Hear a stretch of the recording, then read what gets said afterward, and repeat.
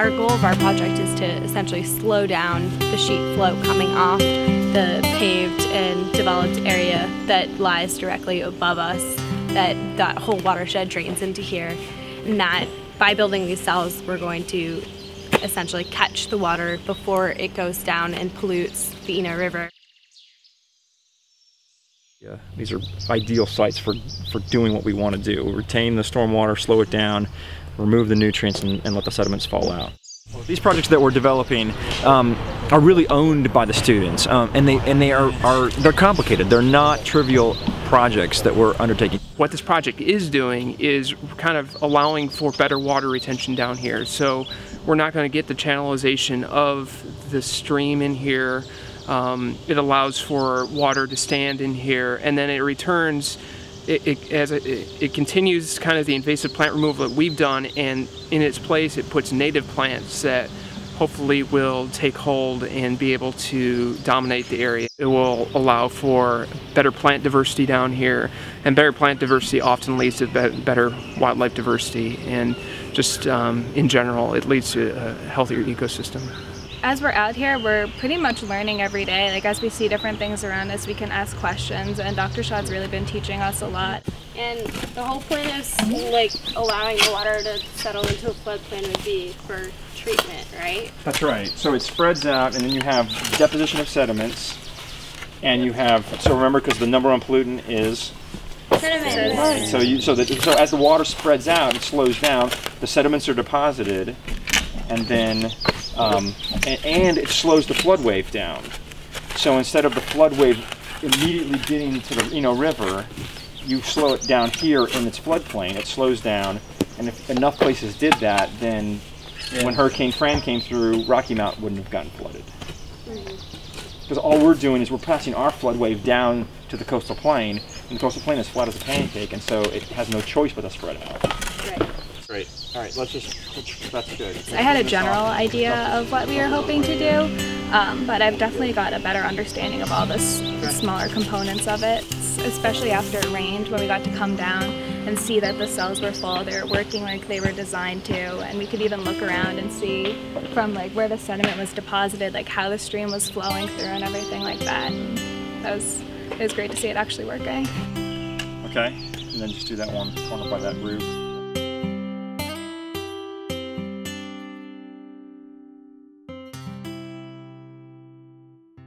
So the project began with Dr. Schaad's CE 185, which is Sustainable Engineering Design and Construction um, class, and myself and a team of two other students were chosen to design the project. And our first step of this project was selecting a site. Um, so we were actually working with an engineering firm in the area and they gave us a list of sites that they thought would be suitable and we ended up choosing the high school because of its uh, proximity to the ocean and um, the large impact that we could have on this site and also it gives us um, an educational component to our project which we were really interested in. The students designed four bays so the, the water here will be um, the first flush of rain will come into these four bays and these four bays will then have to fill up before then water dumps into this main wetland channel.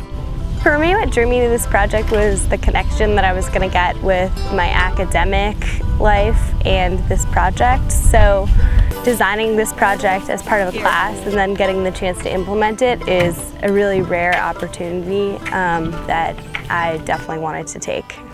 So we wanted to pick projects that were going to be high impact and high value. And so these projects here with the school, just, I mean, it's the perfect size for us. And then it has long-term connections where the students from uh, the high school will be able to uh, come and do experiments right here. I mean, when they're learning about nutrient loadings and they're learning about wetlands and they're learning about invasive species, they'll be able to come right out their classroom window and see what it's like. They'll be able to do experiments by taking water samples here in the wetland and seeing does the water from the ball field exhibit any different characteristics than water coming from the parking lot. I mean, do you expect to see higher nitrogen and phosphorus loads when you have areas that are fertilized and areas that aren't?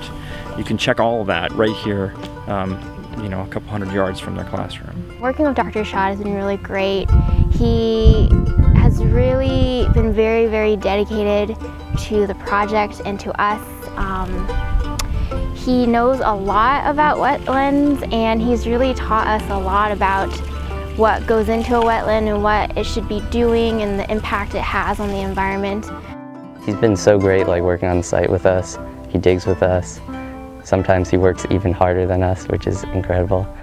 He, he just really loves what he's doing and really teaches us along the way so well.